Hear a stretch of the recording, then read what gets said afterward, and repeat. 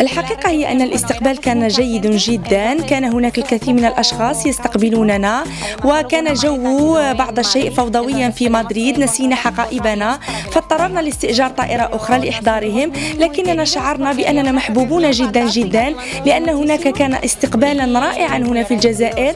وشجعونا كثيرا وشكرا جدا على الحب الذي تلقيناه. نحن بخير وهم يعتنون بنا جيدا خدمات جيدة. وأناس ودودون للغاية.